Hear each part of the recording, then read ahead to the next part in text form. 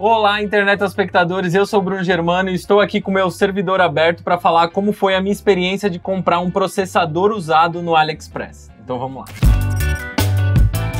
Antes de mais nada, eu quero falar o que exatamente eu comprei e quanto custou. Eu comprei uma placa-mãe X99. Se você for no AliExpress e colocar lá X99 Kit, você vai ver um monte de kit iguais a esse que eu comprei. Mas eu deixei o link aí na descrição do exato kit que eu comprei. Eu criei algumas restrições para eu escolher a minha compra. Eu precisava de um processador Xeon E5 V3, eu precisava de 16 GB e a placa-mãe precisava ter mais de uma conexão PCI Express porque eu conectaria a minha controladora SATA para aumentar conexões de HD desse meu computador. Essa placa-mãe aqui é a X99 8MF e o processador é um Xeon 2620 V3. Ele também veio com um casalzinho de memórias de 8 GB DDR4, que no total deu 16 GB. O kit que eu comprei no AliExpress veio só isso: placa-mãe, processador e memórias. Ainda no AliExpress eu também comprei o SSD M2, que está aqui dentro, aqui embaixo, eu já mostrei em outros vídeos.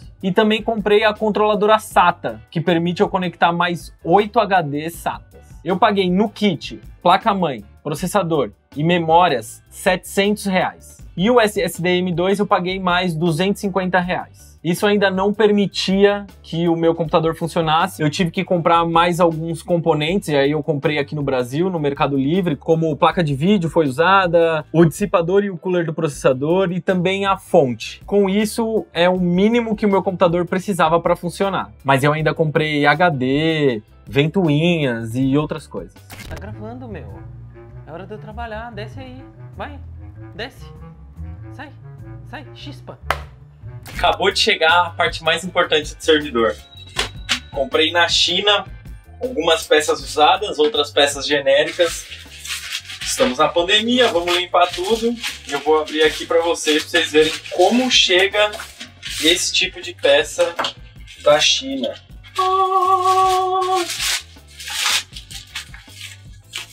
Esse daqui é a plataforma, a famosa plataforma X99.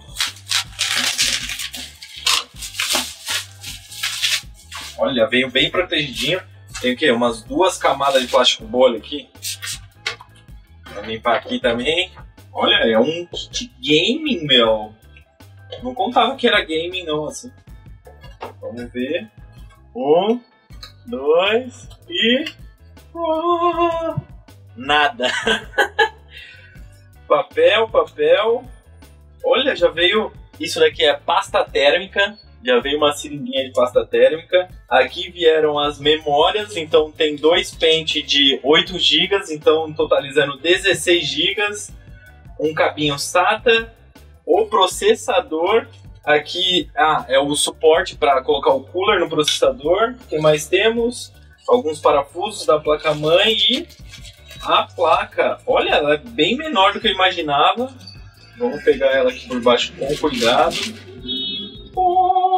bem menor, real, bem menor do que eu imaginava. Então aí aqui temos dois pentes de memória, o socket do processador, algumas conexões aqui de energia, de HD, SATA e tudo. A Jack querendo participar. E aqui temos uma PCI Express de 16 vias, outra PCI de 10 e outra PCI, eu acho que essa daqui é de 4. Ou essa é de 14, essa é de 10, não sei exatamente. Mas ó, chegou a plaquinha bonitona, a placa do nosso servidor com todos os outros componentes. Memórias. Vou mostrar as memórias para vocês. Dois pente de 16, parece bem robusto, ó, veio com um dissipadorzinho de alumínio. E esse daqui é o processador, vamos ver aqui. É um Xeon Intel Xeon. Vamos ver ele aqui. Ah, ele veio no saquinho antistática. Ele é um Intel Xeon daqui E52620V3. Olha, é um processadorzão, grandão. A gente vai colocar ele aqui na placa. Então ainda faltam algumas peças aqui. Falta fonte, falta cooler, o gabinete já tá aí, faltam algumas peças aí, mas aos poucos vamos montando o nosso novo servidor. Eu vou separar esse review em três partes. A escolha do kit que eu ia comprar, o frete e a entrega e os testes que eu fiz aqui em casa. A parte mais difícil de tudo isso foi realmente escolher o kit. O meu irmão já tinha comprado um kit parecido com esse, mas foi um X79, se eu não me engano, e ele já tinha compartilhado a experiência dele de como era legal comprar no AliExpress e, e comprar um processador usado de alta potência e alta frequência. Falou um monte de coisas boas, mas para mim a escolha foi a parte mais difícil. Se você colocar agora lá no AliExpress X99 kit, você vai ver que existem um monte de opções com um monte de preço. Tem preços muito caros e aí depois você chega numa região onde tudo fica 680, 700, 750, os preços ficam muito parecidos e é muito difícil saber o que vai ser melhor para você. Como eu tinha bem claro na minha cabeça que eu precisava de PCI Express para a placa de vídeo e pelo menos uma PCI Express a mais para conectar a minha controladora SATA, então eu já sabia mais ou menos por onde ir. Mas ainda assim é muito difícil você saber exatamente a especificação da placa que você está comprando. Nas descrições, eles privilegiam muito a descrição do processador, frequência, a versão do processador que você vai comprar e também as memórias, se é DDR4, DDR3 e a frequência das memórias. Ah, eu esqueci de falar, a frequência dessa memória aqui é 2666 MHz. Então eu confesso que mesmo depois que eu fiz a minha escolha, passei meu cartão de crédito lá, eu ainda fiquei inseguro se era exatamente isso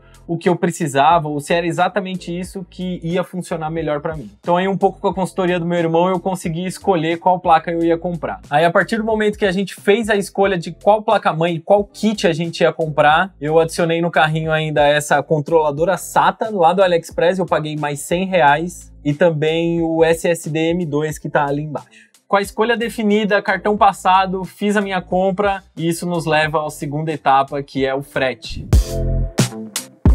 O frete do kit da placa-mãe foi extremamente rápido, sério. Eu acho que demorou uns 10 dias para chegar aqui em casa, uns 10 dias úteis. Nos dias seguintes chegou a controladora SATA. Vieram em fretes diferentes, mas chegaram muito rápido. Então eu posso dizer que o kit de placa-mãe, processador e tudo mais chegou mais ou menos uns 10 dias. Mas o que demorou um pouco mais para chegar foi o HD, o SSD M2. Mas ainda assim foi extremamente rápido. Eu acho que demorou uns 20 dias úteis. Então, em menos de 30 dias úteis, esse kit completo já estava na minha casa. Nenhuma das entregas foi taxada ou algum imposto foi cobrado pela a importação desse kit. Só que existe uma peculiaridade aí que é muito engraçada, que eu não sei como que isso acontece, que o Brasil, pela legislação de importação, proíbe que a gente consiga importar peças usadas e também para garantir que coisas manipuladas ou, vamos dizer, alteradas cheguem no Brasil com a desculpa de que é uma peça usada. Eu falo isso porque o kit de placa-mãe, o processador é usado, o processador é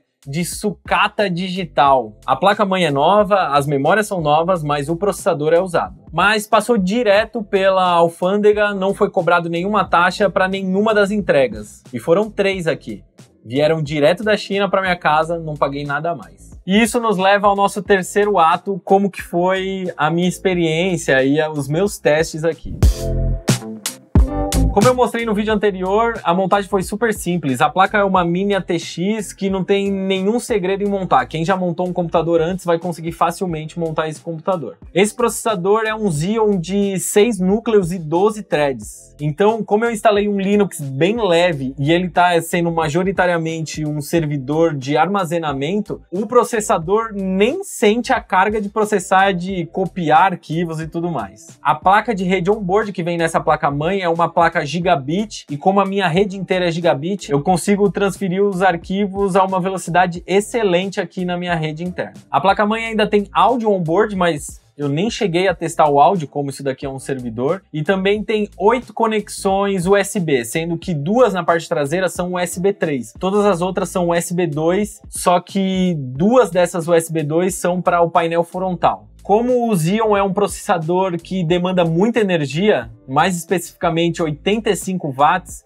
a fonte que eu comprei genérica não tinha conexões de energia o suficiente para fornecer essa energia para o processador. Então eu acabei usando essa fonte de energia aqui, que é a antiga fonte do meu computador de jogos. Com a minha experiência, comprar esse kit para montar um servidor em casa é uma ótima escolha. Primeiro porque o processador é um processador criado para esse tipo de aplicação, para essa alta demanda de processamento. E segundo porque o custo-benefício de se montar um servidor desse jeito é excelente. Se você for montar um NAS e comprar um kit de NAS, você vai pagar com certeza mais de mil reais, mais de mil e duzentos reais com apenas duas baias de HD. Se você for escolher opções com 4, 5 ou mais baias, aí o preço vai muito mais para cima. Então pensando que com mais ou menos mil reais eu consegui montar toda a base de um NAS, sem contar o custo dos HDs. HD você vai ter que comprar comprando um NAS pronto ou montando um servidor assim como o meu. Só que o grande benefício de montar um servidor desse tipo é que você consegue expandir ele facilmente. Além das várias conexões USB que você consegue conectar e dar outros poderes para o seu servidor, você também tem mais de uma conexão PCI Express. Essa placa-mãe aqui tem três PCI Express, sendo uma PCI Express 16, que vai ser para sua placa de vídeo,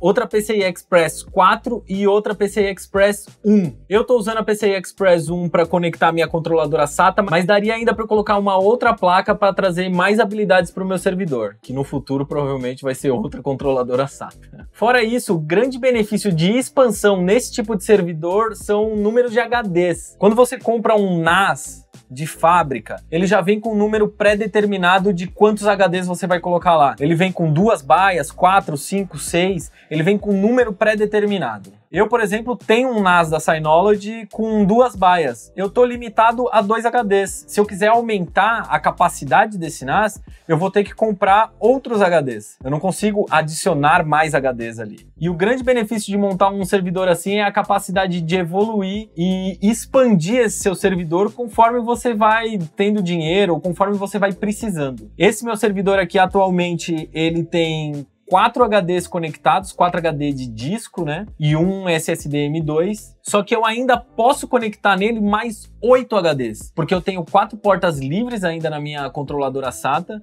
e eu ainda tenho mais quatro portas livres de SATA 3.0 direto na placa-mãe. Isso é a grande diferença de se montar um servidor assim. Eu consigo evoluir ele com o tempo, expandir ele com o tempo. E isso me leva ao último ponto dessa conversa, o ponto extra dessa conversa, que é o sistema operacional que eu escolhi. Eu escolhi o Unraid. O Unraid é um sistema operacional em Linux para esse tipo de servidor que eu montei, o NAS, Network Attached Storage. Além de você gerenciar o array de discos, ele também permite que você gerencie containers de Docker, que você gerencie máquinas virtuais, várias coisas. Resumindo, é um data center inteiro dentro de um servidor. Mas o que me fez realmente optar pelo Unraid é a possibilidade de expandir o array de discos sem que eu tenha que reconstruir esse array. Ou seja, se um dia eu quiser adicionar mais discos, que é o que vai realmente acontecer, então eu só preciso parar o meu array de discos e adicionar novos discos ali e pedir para o de recalcular a paridade.